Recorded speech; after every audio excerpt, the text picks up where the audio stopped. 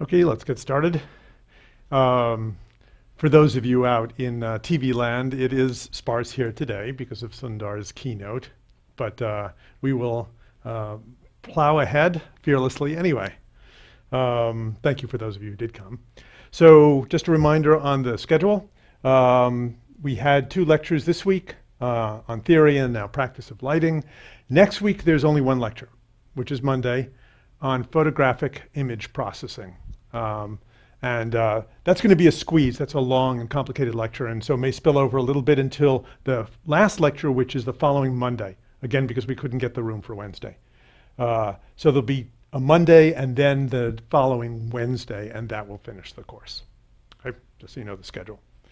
Uh, and uh, of course, for those doing the assignments, there. Uh, oh, this has not been refreshed. There, this assignment, the portraiture assignment, is now online, and that's due this Sunday if you're doing the assignments. And speaking of which, uh, I had a chance to look at the best, uh, to look at the submissions for the landscape assignment, and there were some great ones. So let me show you some of my selection of the best photographs. Uh, here's Lauren Norrie um, on the requirement of an S-curve. That's a beautifully composed photograph with a very nice S-curve in it. And I, I'm guessing this is London, is that right? Look like London to you guys? I think Lauren is in, in the London office. Um, she also has a very nice uh, golden hour picture. And you can tell she's a go get him Googler because it's a sunrise picture. It's not a sunset picture. And the, the contrails make a very nice uh, adjunct. So Alice Liu on natural text, the natural textures requirement very nice, filling the frame with textures. And she actually had two that were very nice textures. Um, I happen to know Alice was recently in New Zealand, and this is a glacial crevasse in New Zealand. Uh, to remind you of one of the Georgia O'Keeffe paintings that I showed when we were talking about composition. And finally, uh, panoramas. We have uh, Florian's panorama. I assume this is in Marin County somewhere? Yes. Uh-huh. So, of course, it's hard to show a panorama. Uh, We'll talk about compositional rules for panoramas in the last lecture. So let me at least zoom in a little bit so you can see how beautiful the, the details of the panorama are. And then the last requirement was improve on nature, and here's Florian's take on that. Uh, so here's the original picture. And here it is after digital dodging and burning, essentially. So we'll talk about that in the last lecture when we talk about methods of doing high dynamic range tone mapping. Okay? All right. So today's topic is uh, photographic lighting. So it's the practical side.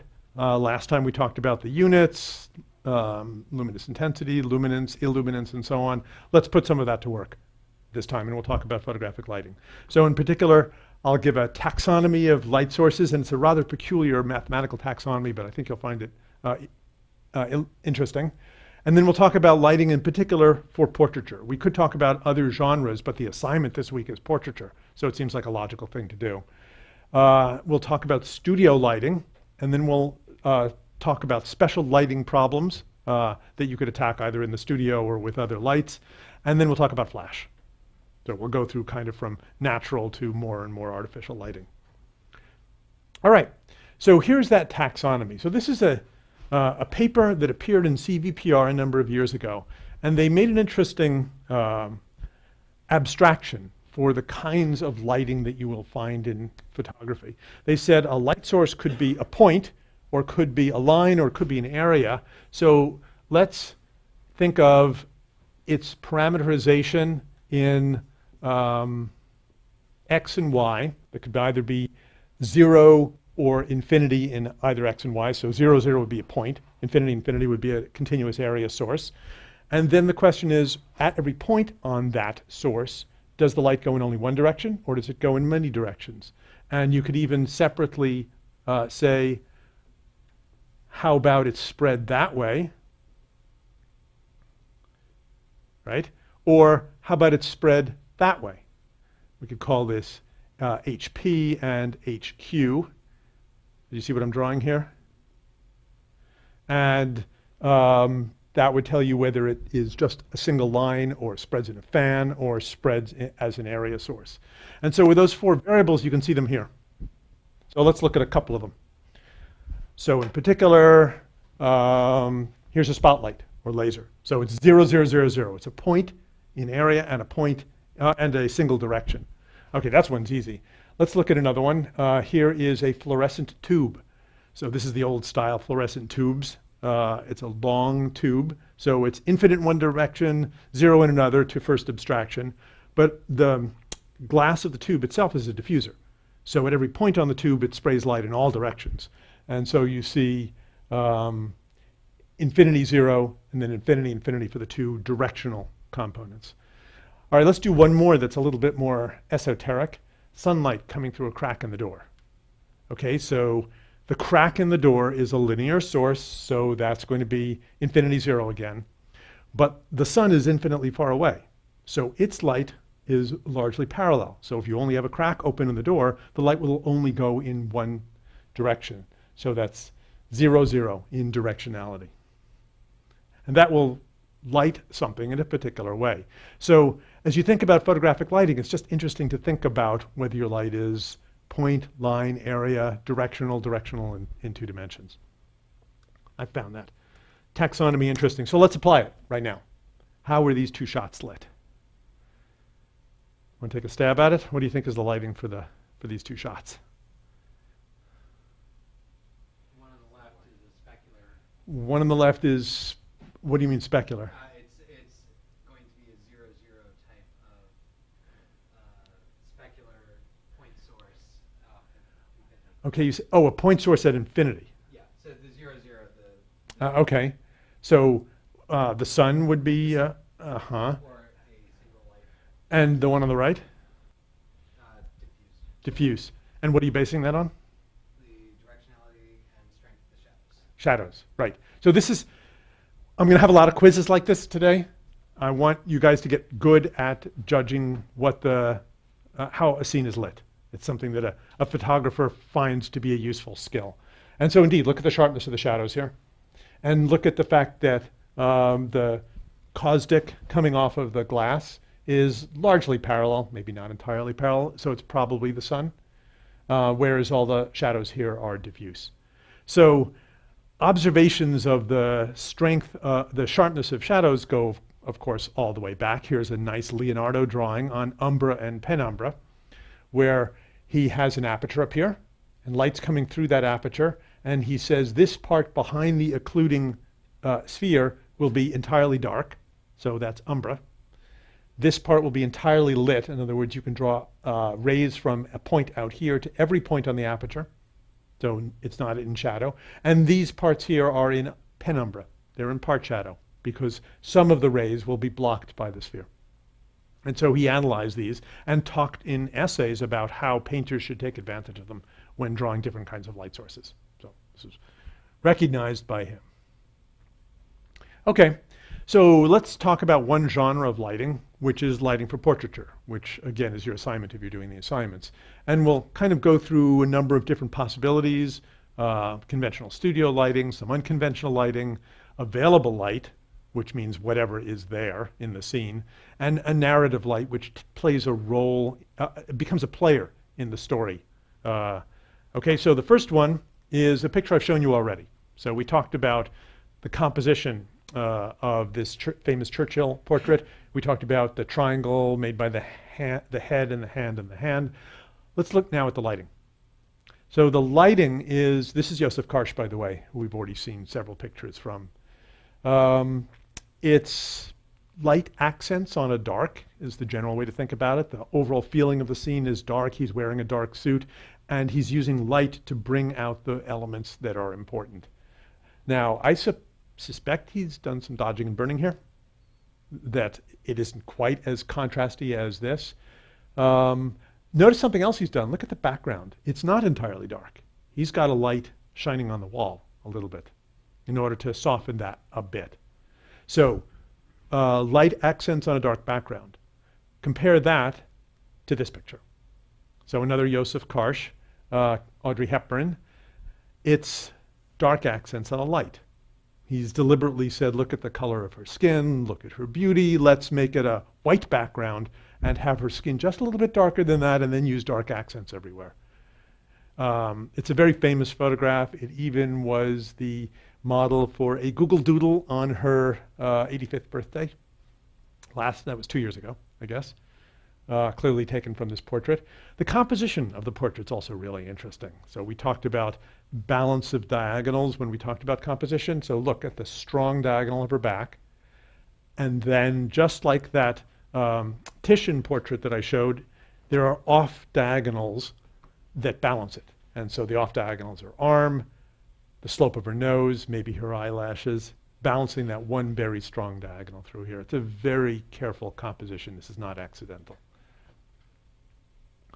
Uh, okay, so this is more unconventional uh, lighting. Look at the eyeball. It's very carefully lit. He's got a light coming from the side. It's not only this lamp that's lighting up uh, Peter Lorre's face. So you know who this is, Peter Lorre? Um, Rick, you've got to hide me, hide me. Ugarte from Casablanca. Uh, it's also got the asymmetrical use of the eyes, so the one bright uh, eye and the one subdominant eye, just like the Churchill portrait did. So here's another unconventional, very strong lighting uh, in Josef Karsh's portrait of Picasso. And he's definitely got the two eyes having different treatments. As a matter of fact, it's almost like this is um, dark. Uh, this is what shows here is the whites of his eyes against dark and the darks of his eyes against white. And uh, it's almost like the shadows and the brightnesses are reversed on the two sides of the face. Is he playing some kind of cubist game with Picasso's face? That's a, my own conjecture uh, because of who the subject is. Nicely lit portrait. Uh, here's another one. So when we talk about key and fill light in a moment, this is an unusual lighting because the key light is just illuminating almost the rim of his face. And there's very little fill light. There probably is a fill light. You can see it here on his temple, but it's very, very weak. And so the largest part of his face has almost no lighting, which is an unconventional lighting, uh, studio lighting, but gives some, some drama to Humphrey Bogart. This is a more conventional lighting, uh, maybe even a harsh lighting, where the main light or the key light is right smack on his face but it's been kind of softened by the furrowed, by the, the wry expression on his face uh, and the, the tilt of his face and the softness of the, the fabric. So Joseph Karsh thought he could get away with a harsh lighting because of just how strong the facial expressions uh, were. All right, so uh, that's, yeah, so that's all I'm to show for studio lighting for Joseph Karsh, except that I can't help, since I've got these two portraits, there's this famous joke about these two guys. They were contemporaries, actually. And um, let's see, how did it go? George Bernard Shaw sent uh, a letter to Winston Churchill um, saying, I'm enclosing two tickets to the first night of my new play. Bring a friend if you have one. Winston Churchill wrote back and said, Oh, terribly sorry. Can't attend the first night. Will attend the second night if there is one. I wouldn't pick a fight with either, a verbal fight with either one of these guys. All right, so let's talk about available light. So it's challenging, it's worthwhile, uh, requires patience and luck, and it's an argument for always carrying your camera, which is, by the way, it's a funny argument these days. When I first started teaching this course, cell phone cameras weren't as good as they are now. So everyone does always carry a camera of some kind. So um, last Joseph Karsh portrait I'll show, this is uh, Georgia O'Keeffe, the painter who we've already considered, uh, as an older woman, and it's a completely available light portrait. There's light coming in through the door. She's sitting there. Some of the pictures we saw of her were of her hands. She is always particular about posing with her hands in some dominant position, in this case showing the texture of them. There is probably a fill light, but the fill light is probably just a card. In other words, if you look at her hand, there's some light that seems to be coming from here, not from the open doorway that's on the right. I suspect he just had a white card here because the sunlight was so bright. Maybe there was a wall here that's reflecting a little bit of light back to fill her face and to fill her hand. Okay, so let's uh, switch to another artist. This is Available Light, Richard Avedon. Um, he was a famous fashion photographer, and then he did portraits of famous people, and then eventually he began this series of just everyday Americans. And he called the book In the American West, which is sort of like Margaret Bourke White's book that we, um, you have seen their faces, that we talked about when we considered the Dust Bowl. So what he did was he, he would set up uh, a little studio outdoors with just a white screen. And it was completely available light. Here's his setup, and he would place people in front of that white screen and just take a picture of them. No context, no scenery, no background. Avedon is deliberately asking you to try to read the character and the lives of these people just from their faces, from their skin, from their clothing, which is probably not that hard in the case of this young rural girl. Another thing about these portraits is that they were done with a large format camera. He would print them life size, meaning the size of a human. She would be the size of, uh, of a girl, and then hung at eye level in a gallery. So they're very large portraits. And there's something viscerally powerful about a portrait that's life size and eye level. Even if it's not stereo and virtual reality and whatever else Sundar is talking about in the keynote, uh, it's a very powerful effect. And so it's um, quite an interesting experience to go look at a retrospective of Avedon's portraiture. He even left in the frame of his view camera negatives to kind of give you this feeling that this is almost like a mug shot, just a narrative, hard biting narrative of the lives of these uh, people. So he was, as I said, a fashion photographer. So here's a fashion shoot, just to kind of round out the picture of Richard Avedon for Christian Dior. It's amazing that something like that is, um, they're not all hung up by strings, but I think they're actually moving here. And I think it's her coat that's being advertised in this case. Um, so available light doesn't necessarily need to be plain or diffuse. It can actually even be a pictorial element in the scene. So we talked about the pictorial uses of color. So here's a pictorial use of light, where the light is actually a geometric element that becomes part of the composition. Uh, it can light can available light can even be a narrative light. It can actually be a dramatic player in the scene. So here's a painting that does that. Uh, Caravaggio's uh, Calling of Saint Matthew. So this is Jesus over here, and the Saint Matthew is the tax collector, and he's saying, "You follow me," and Saint Matthew is sort of saying, "Who me?" And the light coming from behind is sort of like God saying, "Yeah, you." Question I had a question on the previous photo. on the previous photo. Um, this one. So, you explained before how sunlight is, practical purposes, infinitely far away. Oh, But it uh-huh. seems like the, the light source is much closer to the trees than infinitely far away because the spray of rays looks like it's. Um, yes, you have to consider the perspective in the scene, though. In other words, the, if I look directly at the sun, the rays from the sun are parallel, but it's very far away, and those rays will appear to me as if they're radial coming out from the sun. So that's just part of the natural perspective. Sorry? Even the rays that seem to be going. Yeah, I mean, just, just think of looking directly at the sun. Those rays seem to radiate, even though they're parallel, because of where you're standing. It's just a, an artifact of perspective. Florian?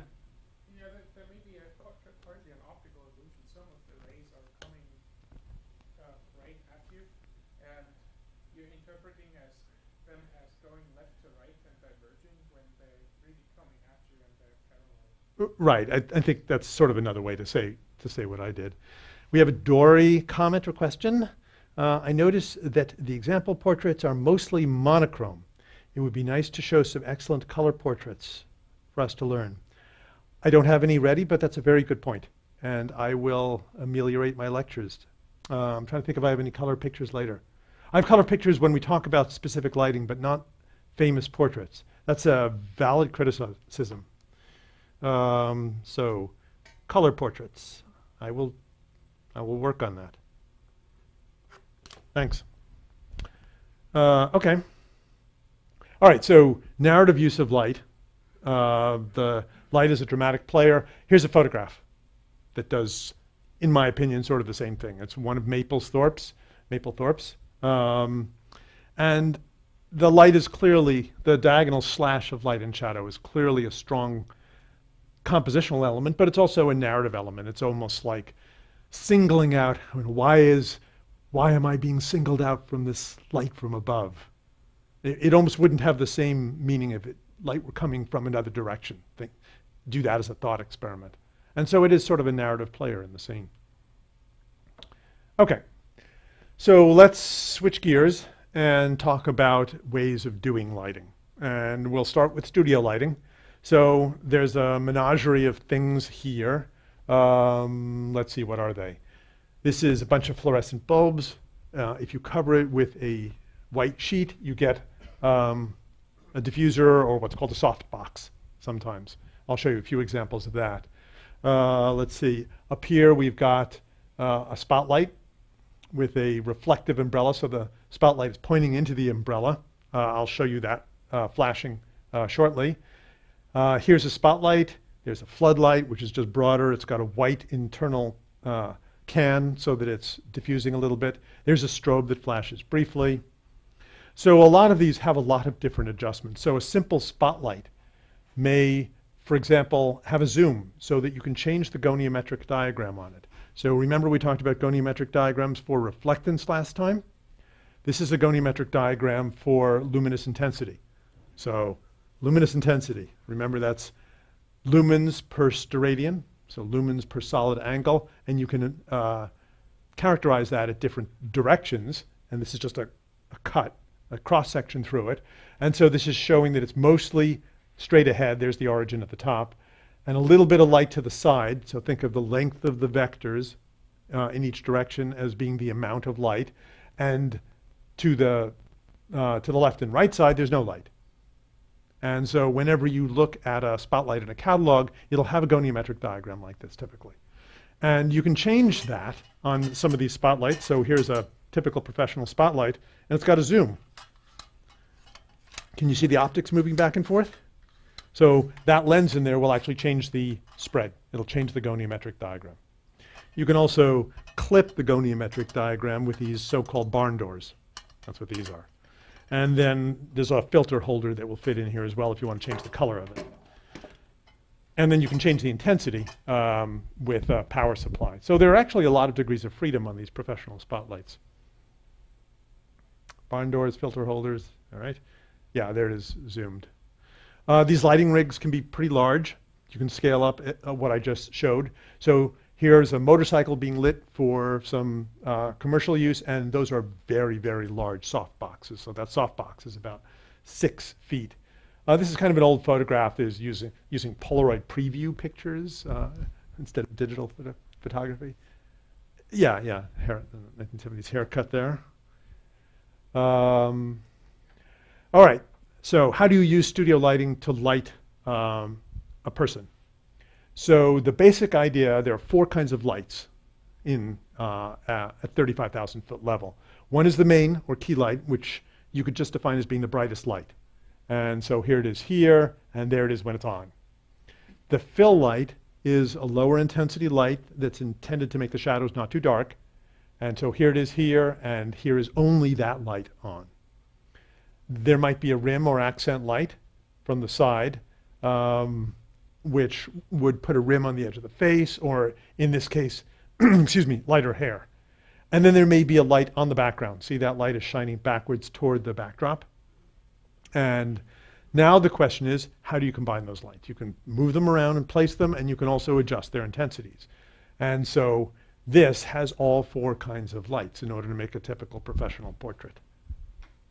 And the arrangement of them relative to the camera's view is one important variable. So here are alternative lighting arrangements, and they all have names um, in this profession. So broad lighting means that the key light is illuminating the side of her face that is uh, most facing the camera.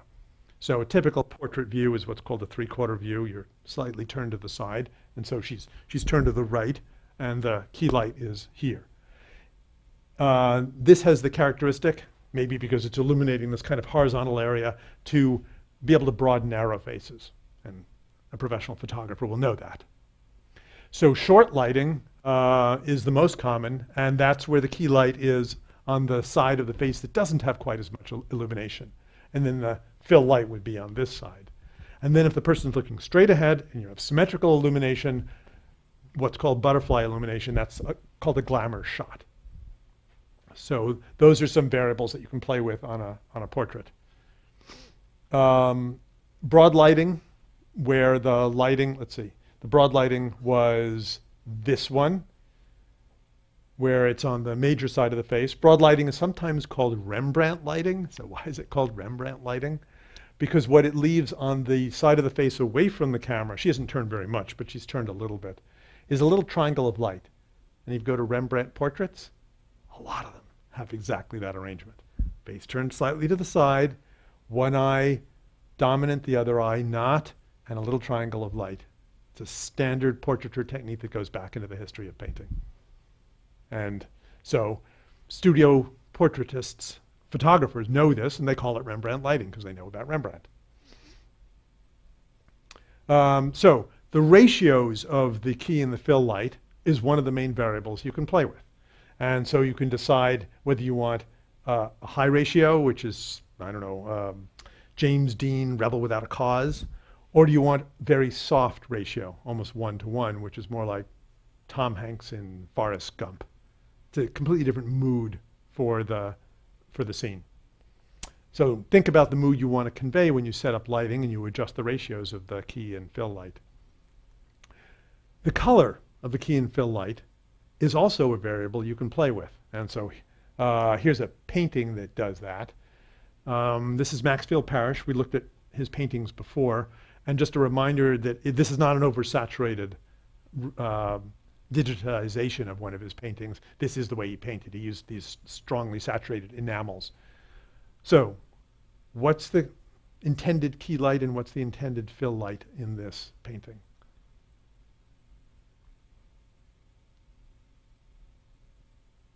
What's Maxfield Parrish's intent, intention? Where's the key and where's the fill and what do they represent?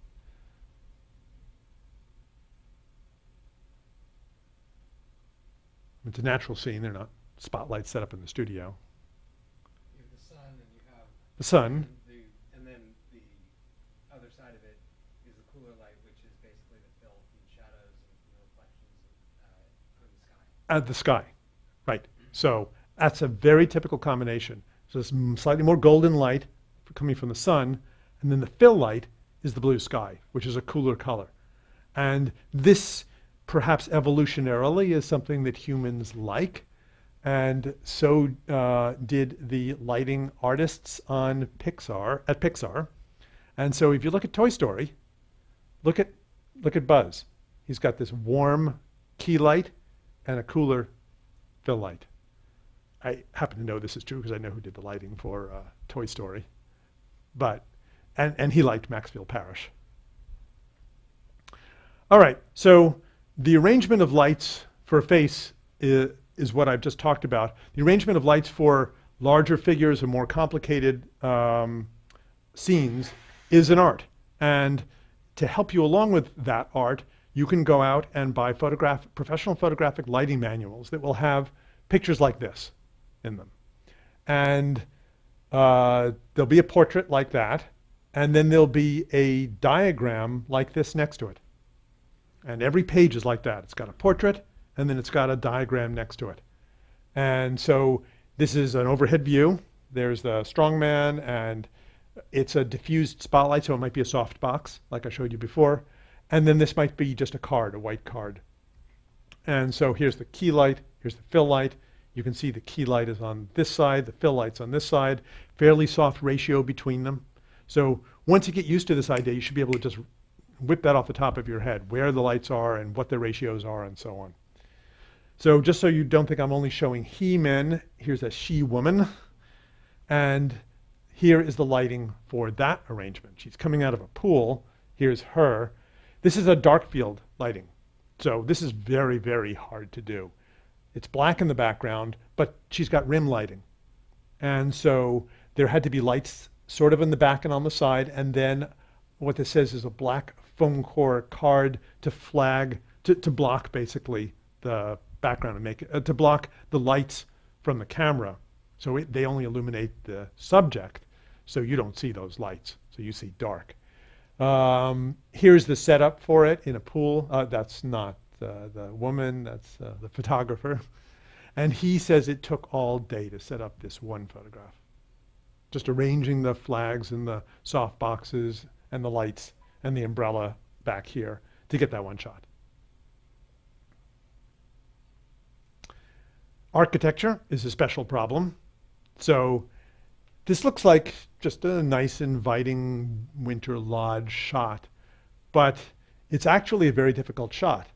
Um, there's the lighting situation for it, but the other thing to note is that you can see the skiing mountain outside. So it's kind of a dusk, probably. It's a two second exposure in order to be able to bring up the outdoors. And if it's a two second exposure, that's a very long exposure. It probably means that this lighting is very dim. So he had to deliberately turn down the interior lights so that he could use a two second exposure in order to bring in the outside. And of course, that had the disadvantage that it blew out the fire. So there's a lot of things that he's balancing here, as well as a, uh, a light in the back in that room. You can see that indicated here. Um, one more example, I think just one more. How is this lit? Shiny objects are definitely a special problem. How do you think this was lit? Florian? A white tent, right. So it's a, essentially that. It's a box, and you can see the reflection of that here. Uh, has to make sure that the room that the camera sits in is entirely dark, so you don't see the camera through that little narrow slit here in the bell of the trumpet. Um, wants to try and make it sort of a soft satiny feeling, and did that with uh, diffuse reflectors. So basically a tent. Um, another special problem is food. And why is this a special problem? Because of the 1962 Law on Truth in Advertising of the Federal Trade Commission that says that you cannot apply anything to food in advertising photography except the natural juices from the can. So no glosses or varnishes are allowed. And he'll actually describe it here. He says, so this is actually, um, he's setting up for a shot for Lucky Stores, but he wants to include it in his portfolio. So he'll use his own labels there that don't, that don't represent any real brands. And he'll say, to achieve a high shine on the can lips, each can was polished, new labels were attached, the contents of each can were arranged with a pair of chopsticks. Liquid from the individual cans was applied to each item with a small brush to prevent dryness. So this took a long time to set up as well. And if you look at these professional lighting manuals, you'll just see these very straightforward descriptions of exactly how to, to do this. In fact, I think there are, there are books on photographing food. Uh, seems like everyone takes pictures with cell phones these days of food. I don't know if they sit there and arrange the items with chopsticks. Maybe they do. One fun fact though, for photographing cereal, you can actually use Elmer's glue as the milk if you want. Without violating the law? Not the milk. Oh, okay. Uh, we'll check with the lawyers on that one later. uh, all right, here's another special problem. Uh, uh, very shallow textures. So an overhead light on this historical doily does nothing. What you need is a grazing light. And so grazing light is very common for embossed surfaces, uh, surfaces with a slight bit of relief. Uh, so here's a little side light. It's a project that I worked on for visualizing cuneiform tablets. The problem with cuneiform tablets is that, first of all, the writing goes around the edges, and second of all, there's no one lighting direction that can really help you visualize and therefore read the uh, indentations. And so what we did was uh, uh, we took a cuneiform tablet, that's a real ancient tablet, scanned it with laser scanners. I already showed you how laser triangulation scanning works. unwrapped it. So we actually did uh, a spline transformation in order to unwrap it to create a single surface where depth is uh, denoted by darkness. And then we did a non-photorealistic rendering of it. And the particular shading here is called accessibility shading. And the definition of it is if you were to roll a ball across the surface and let that ball go into the indentations and make the ball small enough to reach the bottom of each indentation and then make the intensity that you render proportional to the radius of the ball you used, dark being the smallest ball, you'll get this appearance. It's called accessibility shading because you're essentially rendering it, you're visualizing how accessible each point on the surface is. And so um, it's, it's easy now to see what it, what it says. And that's the purpose of the project. I it's probably, sa- oh, I don't know, what does it say? It says um, two heads of broccoli at 97 cents a piece, or I don't know. I don't know what it says. they were often commercial contracts like that. It's not entirely a spurious conjecture. How is this sculpture lit?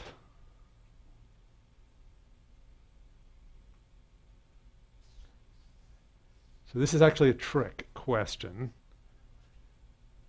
Here it is close up. Probably guessed it's not a sculpture, actually. It's a bas relief. But the human visual system is pretty good at interpreting its probable three-dimensional shape, even though it's actually not fully formed. And the reason for that was explained in a great paper in CVPR uh, called the bas-relief ambiguity. And so what they said was changing the depth of an object is equivalent to changing the angle of the lighting on it for a diffuse object. They produce the same image. And here's a diagram from the paper that actually shows that. So here is um, a cross section through the object. So this sticks out further, and this sticks out even further like that. And the light is assumed to come from here. And if you work out the amount of illuminance that will fall on each point on the surface, and it, if we assume it's a diffuse surface, it'll uh, uh, reflect equally in all directions. That is going to have exactly the same illuminance as this situation, where the heights are half as much and the lighting is at a different, shallower angle. You can just work that out from geometry. And so artists appreciated this. So when you look at a bas relief, it's easy for you mentally to think of it as a sculpture with the light coming from a different angle. And so we can very naturally interpret bas reliefs. Otherwise, they might be very hard to interpret. See how that works? You didn't catch me on the shadows? Doesn't quite work because the shadows that are cast here will give away the angle. All right, so recap. Um, lighting can be classified by its spatial spread, its angular spread, umbra and penumbra. Here's studio lighting devices. We talked about portrait lighting, key, fill, rim, background, and we talked about lots and lots and lots of special cases. Any burning questions? So we're going to swish. We're going to switch to uh, Flash. Florian? What was that about the shadows? Um, the, I mean, the diagram you just showed seemed to suggest that the shadows should scale appropriately.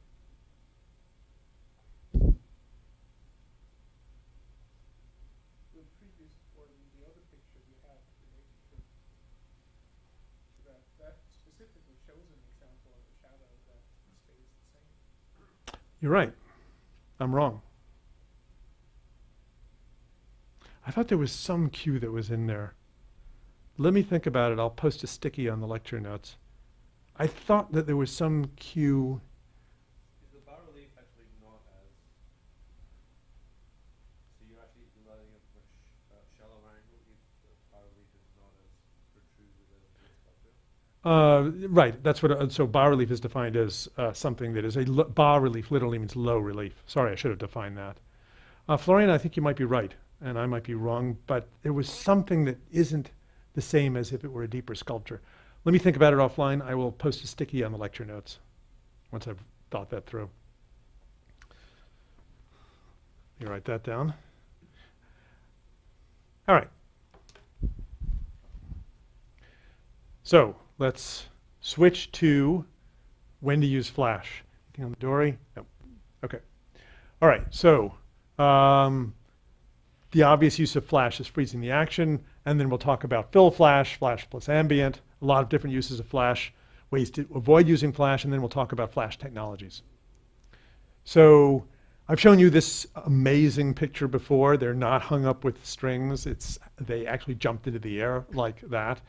Here's a couple more Lois Greenfield uh, pictures. These are taken with flash in order to freeze the action, the strobe. Uh, this one uh, didn't need a strobe, but it's just such a cute picture. I just had to include it. I don't know how they get the baby to make that facial expression. All right, fill flash. So this is a common time when you would like to use flash. Uh, if you were to expose for the foreground in this scene, you'll get them nicely. If you expose for the background, you'll get the columns. You can't get both of them at once. So what you do is you expose for the background and then add a flash. It's a very typical scenario. Um, you could potentially use high dynamic range imaging that requires multiple shots, and there's only a certain ratio that you could use to boost the what would otherwise be uh, underexposed. Um, here's a success case for that, um, where uh, she and the dog and the rocks are a little bit too dark, but the, the background is nicely exposed, and here's the dynamic range, high dynamic range shot. This is on the Nexus 5 with our uh, My Team software, HDR+. All right, so here's another situation. So we'll talk about the high dynamic range tone mapping um, in a later lecture. We talk uh, next week when we talk about post-processing. Okay, so flash plus ambient. So if you just take a flash picture and most things are far away, they will be dark because flash falls off as the square of the distance. And so a way to bring, to, to place the objects in context is to have some ambient light. You can take a longer exposure. Of course, the problem with a longer exposure is that then some objects are going to be blurred, but now there's at least some context. So it avoids isolating the foreground from the background. Here's another use of a flash. You can use a flash as a fill light even if you don't change the exposure. So in this case, the key light, or the, well, yeah, I guess you would call, I don't know what you'd call the key light. I guess the flash is the key light. But anyway, the, the brightest light here, the available light was the sun. It was golden hour, but it only illuminated part of her face. And so I added a flash in order to fill in the rest. I did not change the exposure. So in this case, I'm just adding light. So even if the exposures are reasonable, you can change the balance between key and fill by using a flash. So you have to be very careful in a portrait like this because the light is so strongly colored. So golden hour is golden. The flash has a very high color temperature. We talked about color temperatures. It's D6500, so 6500 Kelvin black body. And so it's kind of bluish white. And it would look bluish white and horrible on her. So what I had to do, uh, it was this uh, flash, and I had to put this little Velcro on it, and then take out an orange filter. You can see that it's orange. And then attach it like that. And so now I was roughly matching the color temperature of the golden sunset with my flash. And so um, a flash photographer will always carry a whole packet of these kinds of filters with them.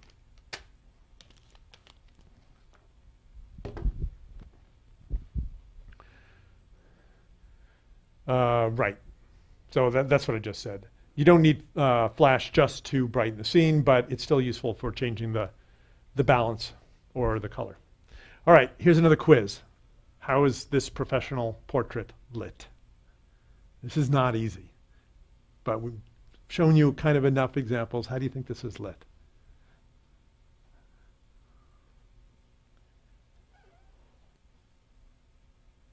Someone yell, yell out some lights. It's probably more than one. There's a cool background light, gelled. Cool background light. You mean the light on the wall here? Mm-hmm. Okay. Gelled with something cool, some bluish tone. Some bluish tone. Okay, what else?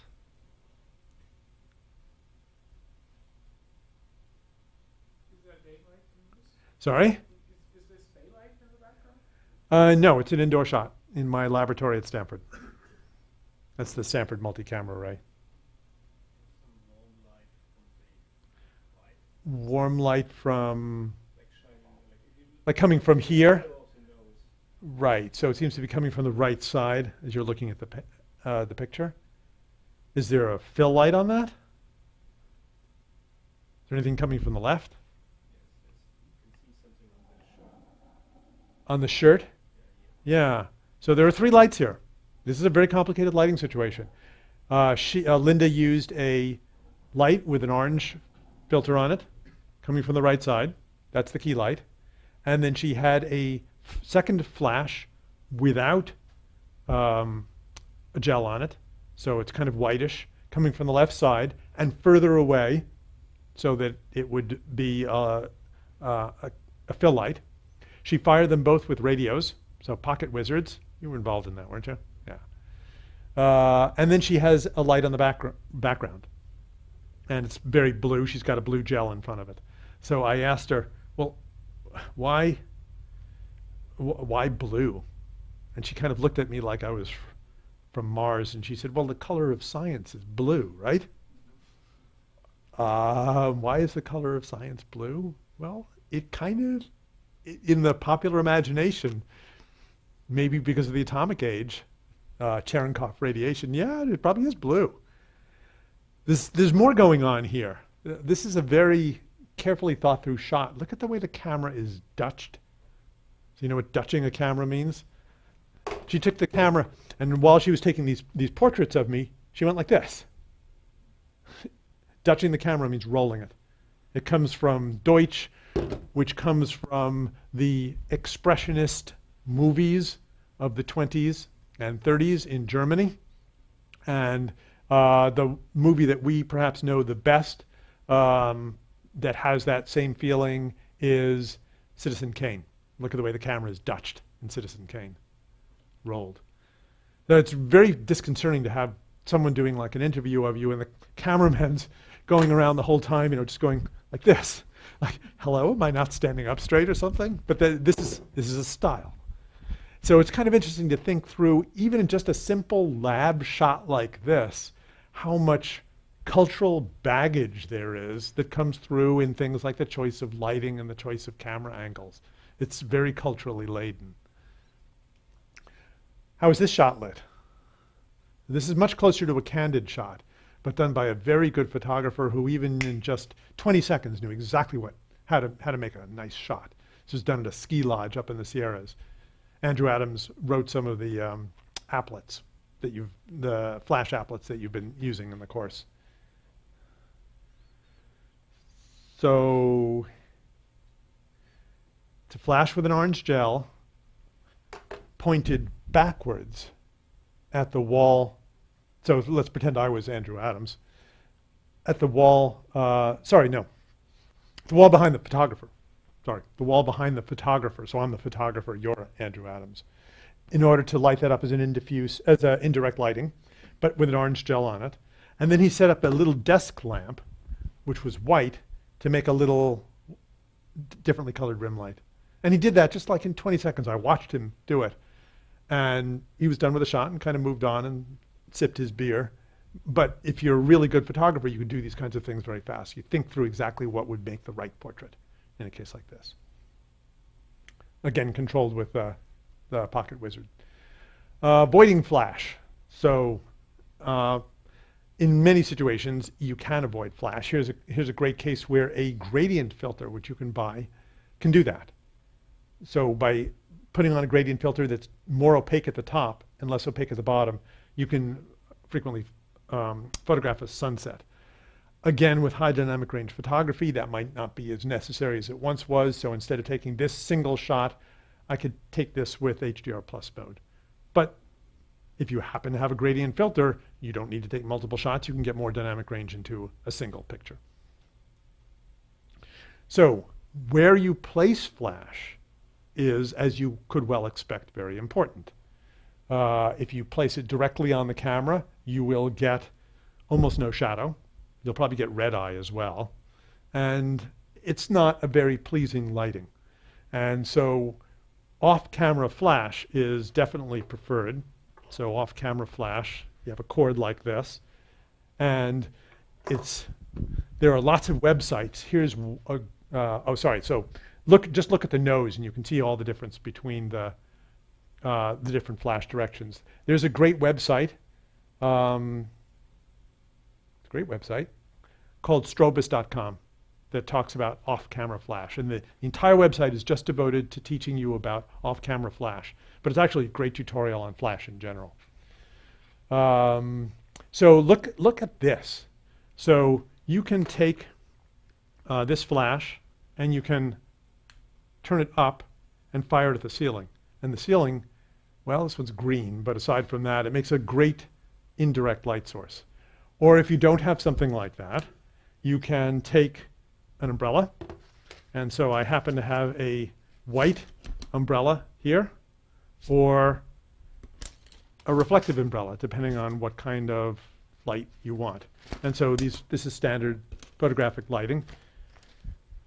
Extra tools, and you can fire the flash uh, into the umbrella, and it will make a diffuse. I'm going to fire this flash. Make a diffuse, large light source.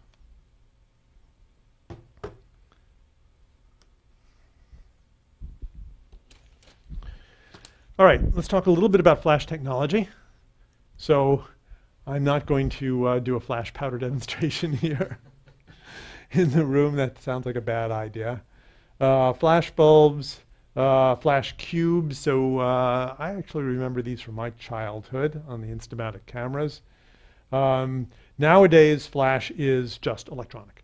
And the way an electronic flash works is it's a capacitor. And by the way, if you take apart a camera, be very careful of the flash capacitor that's inside it. It's got, uh, it'll deliver a very nasty jolt if you haven't discharged it first with a screwdriver. I have experience of it too. Yes, yeah. Uh, even uh, yeah, yeah. So be very careful. Um, It, can kill you. it can kill you, but Florian is still here, so it must have killed a friend um, on a big flash. That all right? That's really scary. I didn't know that. Um, so it's a high voltage ionization of the gas inside the tube, which uh, essentially then um, causes lightning to go back along the ionized air. And so if you look at this closely, here's a little gratuitous animation. That's the streamer, and then the, when it turned white, that was the actual flash. Let me show that again. Oh, it's cycling. So those are the, the pre-streamers, the lightning leaders, and then the, the return stroke in the case of lightning is the, the big flash when the whole thing just turns white. All right, so how do you control this flash? So it's discharge uh, in a xenon tube. The luminous intensity of a xenon flash is fixed. So that you cannot control. So remember, luminous intensity is lumens per steradian, meaning lumens per solid angle. You cannot change that. The flash is briefer than the shutter, so you cannot use the shutter speed to control it. It's a very quick flash. Uh, you can still use the shutter speed relative to the flash to control the balance between flash illumination and ambient illumination. But you can't use it to control the power of the flash. The aperture, of course, will control that, but it will also control the ambient light, and the same thing with the ISO. The only variable that you have, aside from the placement of the flash, is the duration. And so here are some plots over time. I think these are in milliseconds. I'm not sure of that. Uh, and this is the 430EX, which is a smaller cousin of this guy here, uh, at low power where it drops quickly, and at higher power where it extends longer. It's funny, if I look at the integral under this, it doesn't look like it's that much longer. But that's, this is off of uh, manufacturer's data, and this is what they claim. So just by controlling the duration of it, you can, uh, you can um, control the amount of power.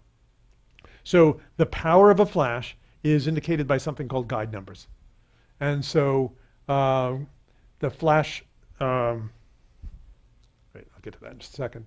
So the correct F number for you to use is the published guide number for that flash divided by the distance to the subject. So they define it in terms of the distance. And of course, that varies with focal length for a zooming flash. So you're thinking to yourself, what's a zooming flash? So if I take this uh, Canon 5D Mark III and this flash and put it on there and turn them both on. So do you see, I'm zooming, this is a zoom lens, it's 24 to 105. You see the way the flash is zooming too? Can you see that? There's actually some optics that are going back and forth in there. So you can actually see that the flash itself is zooming. And so it's changing its field of view to match the field of view roughly of the, of the camera itself. And if you don't do that properly, then although a wide angle lens and a wide angle flash might look like this, a wide angle lens with a narrow angle flash will only illuminate the center. All right, so here's some examples. So this monster here has a guide number of 58. Um, a Panasonic, uh, th- that's a micro four, four thirds camera. I showed you some of those earlier in the course. That might have a guide number of something like 19. A little point and shoot camera might have a guide number of four.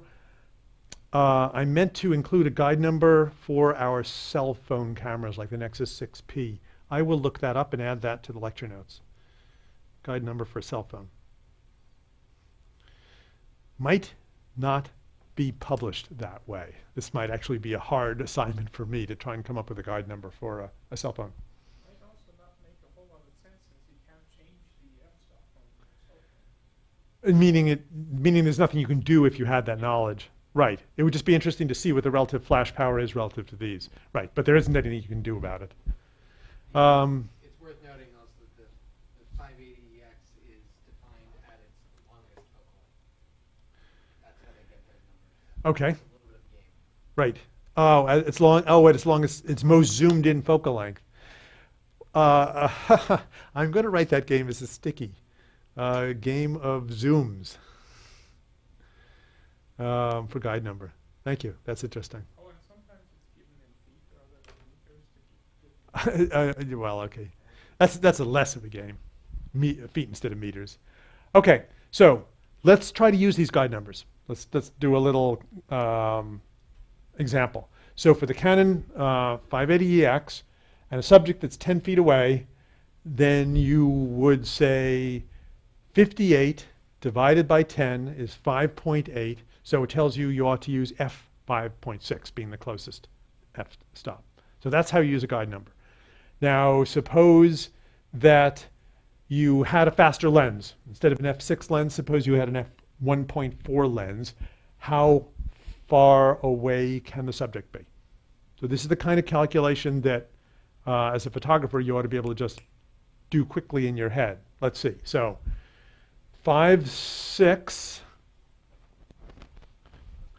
over one four. So you could think about that just as 5.6 over 1.4 equals 4x. Or if you wanted to, you could go ahead and say, well, let's see, 5.6, 4.0, 2.8. Just remember all the f-stops, 2.0, 1.4, and one, two, three, four stops, four doublings. Four doublings. So that's um, 16x the amount of light because each doubling is one, or each f-stop is one doubling. So that's 2 to the fourth. So that's um, 16 times as much light. Now let's see. If we treat the flash as a point light source and uh, it's got 16 times as much light, then light falls off as the square of the distance. So we ought to be able to stand um, uh, uh, four times as far away, right? So instead of 10 feet, the subject could be 40 feet away. So you see how that calculation works? 16 times as much light allows four times the distance.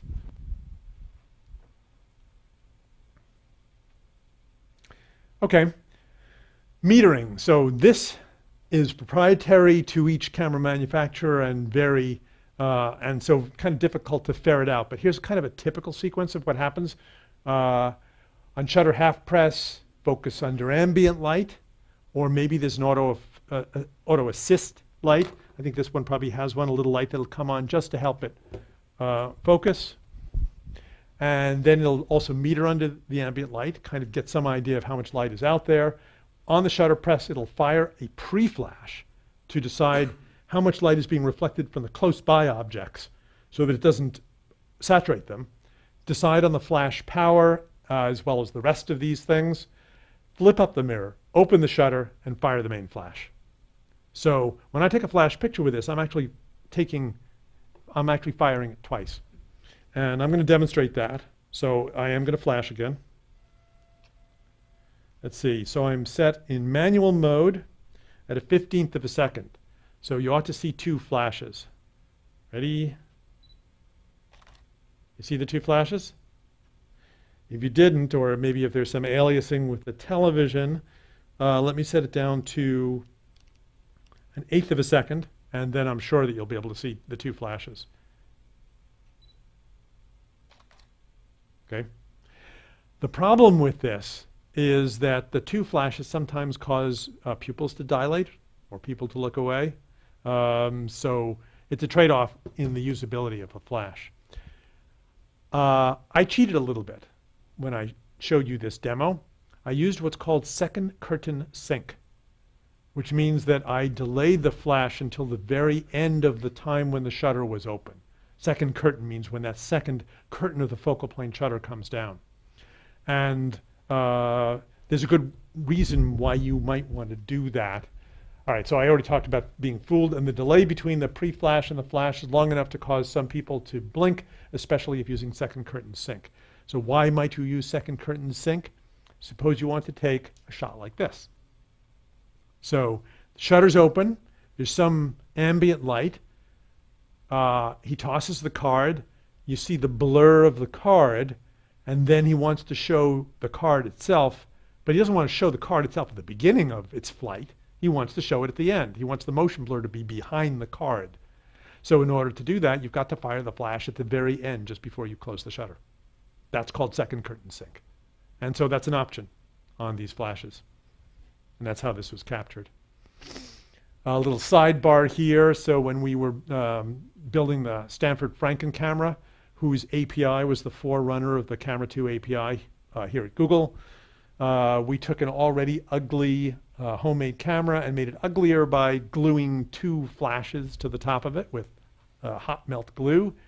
And we took the smaller one and strobed it continuously, and took the larger one, which was this one, and fired it once at the end of the exposure. In other words, second curtain sync, effectively.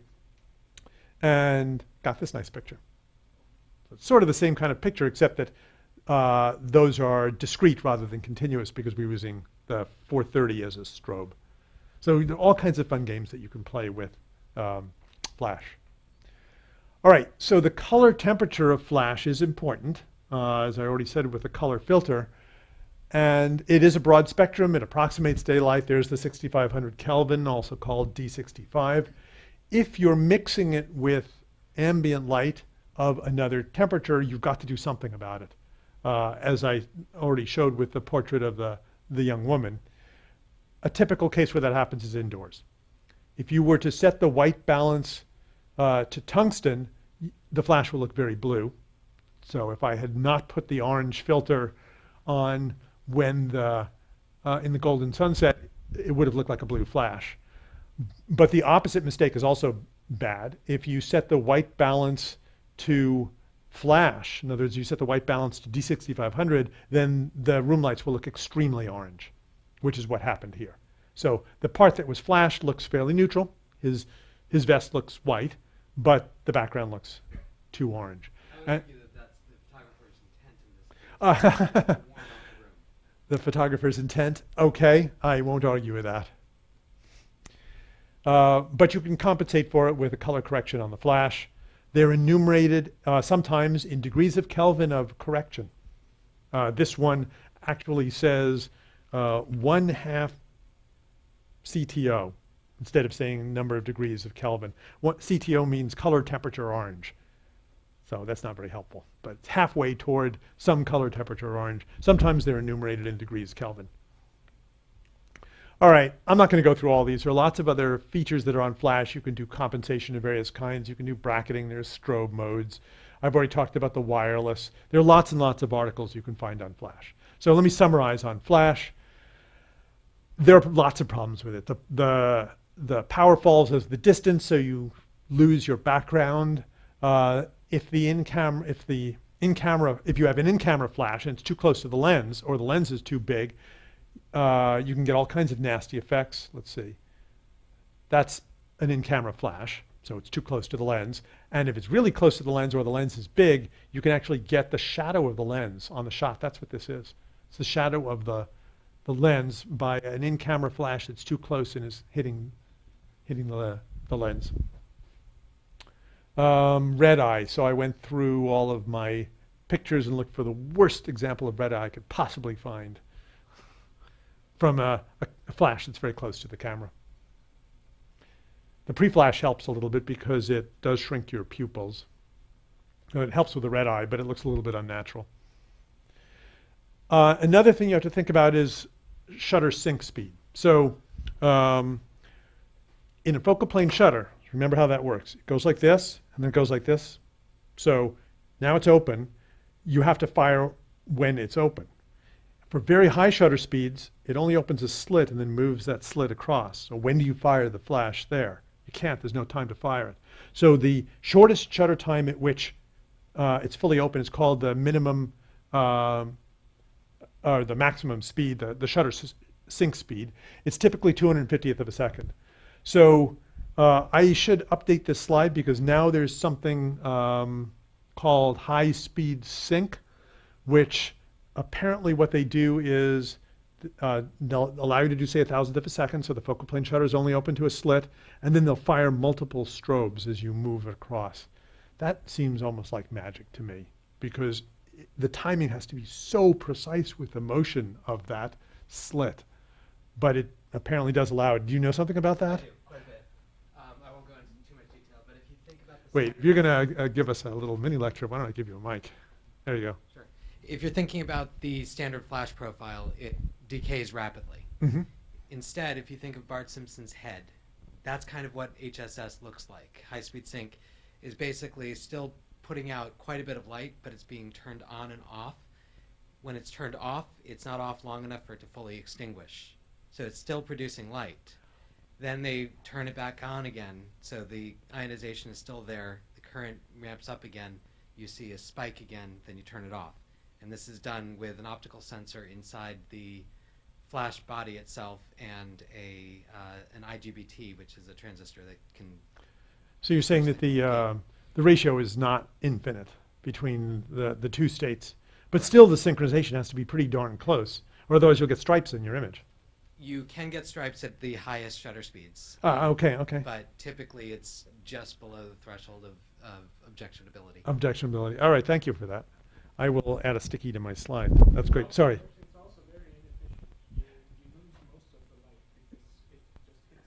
You lose, uh, Florian said you lose most of the light because it just hits the shutter. Great. Um, okay, so don't shoot perpendicularly into glass. So of course, my preference on uh, flash for just adding illumination to a scene is don't. Take multiple exposures and average them together, which is the other half of what HDR plus does. So that instead of getting a single shot like this, there's a blow up, she's very noisy, um, you get a shot like that, which is a whole lot better. And this is an old, this is an old phone, the Nexus 5, but arguably easily beats the iPhone 5S when, when I did this comparison. Okay, so be used to fully freeze the action. Talked about several uses for flash. Um, off camera, bounce flash, we looked at that. Uh, we uh, talked about um, adjusting uh, the fact that it adjusts the pulse duration, and then we talked about guide numbers. Are there any questions?